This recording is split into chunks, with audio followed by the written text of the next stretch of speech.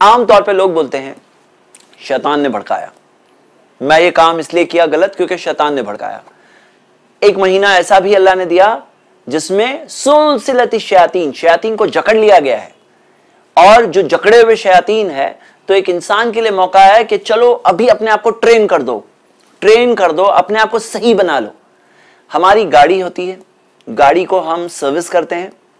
अगर गाड़ी को सर्विस बिल्कुल ना करे तो क्या होगा? उसका परफॉर्मेंस खराब हो जाएगा।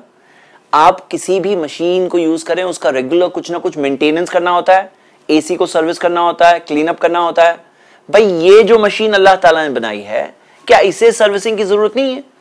तो हम देखते हैं कि ये मशीन के लिए अल्लाह ताला ने जो सर्विसिंग का महीना रखा है, वो रमदान का महीना है। एक महीने के अंदर कई सारी कोइंसिडेंस नहीं हुई। ये अल्लाह ताला की मर्ज़ी और प्लान से रमदान के महीने में कई सारे खैर और बरकतें हैं।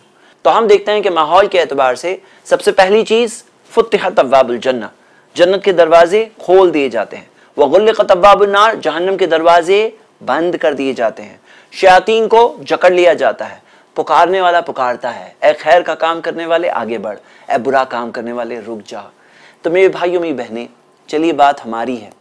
हम सबको अपने ताल्लुक से सोचना है कि क्या हम तौबा कर रहे हैं? क्या हम गुनाहों से तौबा कर रहे हैं? क्या हम नेकियों में आगे बढ़ रहे हैं? अरे भाई, बहुत से लोग चले गए जन्नत, लेकिन क्या हम जा रहे हैं जन्नत? आपको पता है, इस महीने में बहुत सारे लोग जहन्नम की आँख से आज़ाद होते हैं।